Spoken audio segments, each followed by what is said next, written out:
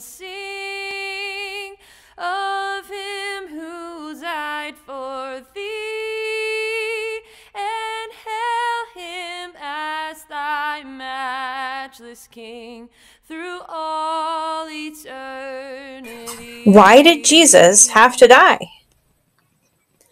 I think this year many people feel as though they've really been through something. Some of us have lost loved ones. Others have experienced illness or depression and sadness. Others are just searching for answers. Like, why did the coronavirus have to happen? And why do any bad things happen? We may never know all of the answers to life, but we should and can ask God. This all leads us to one main question that I'm going to ask today Why did Jesus have to die? Now I know that death can make us feel sad and even worried sometimes. But I want to let you know right from the beginning. Flash forward to Easter, Jesus' death does not end sad. It has a very happy ending, in fact.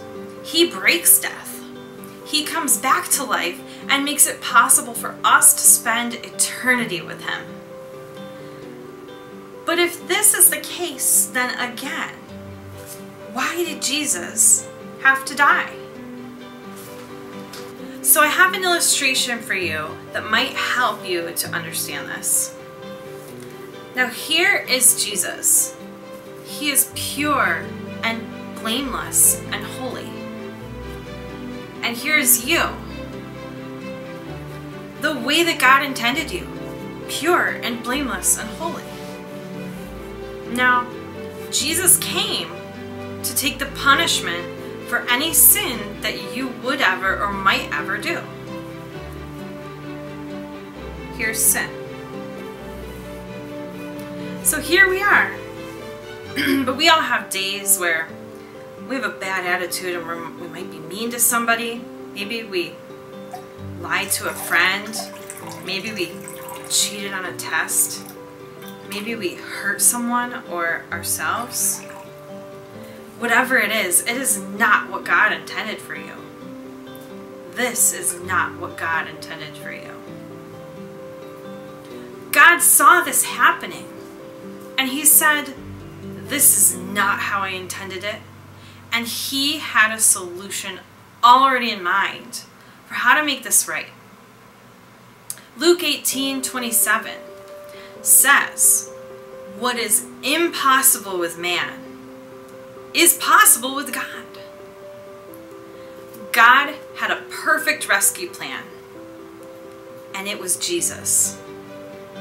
So Jesus came and he lived a perfect life without sin. So what would happen if Jesus took on the sin of the world put it in himself?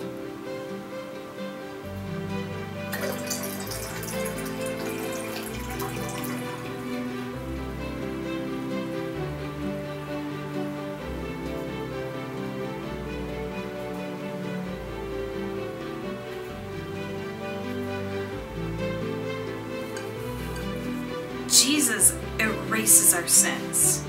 He took our sins to the grave and he left it there. He is still pure and holy. And now he's also erased all of our sins. He left it in the grave and he came back with a new life and he offered it to all of us. He was still perfect and pure and blameless. And so you have the ability, you have the opportunity to say yes to Jesus, to say, we don't need sin anymore. Sin has been defeated by the power of Jesus' death and resurrection. So when you say yes to Jesus and ask Him to fill you with His power, it changes everything.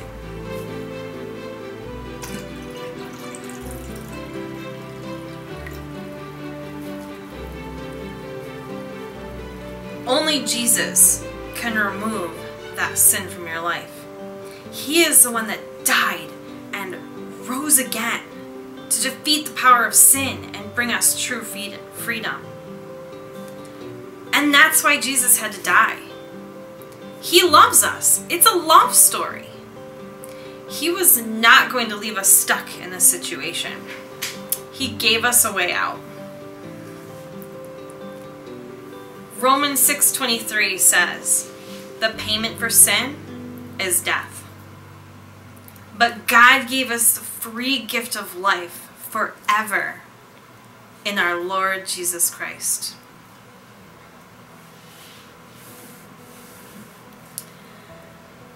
If you feel an urge to accept this gift that Jesus offers to us, please pray with me now and repeat after me. Dear Jesus, thank you for loving me. I know that I have sinned. I believe that you died on the cross to take my punishment for sin. Please forgive me and make my heart clean. Please come into my life and make me yours. In Jesus' name we pray. Amen.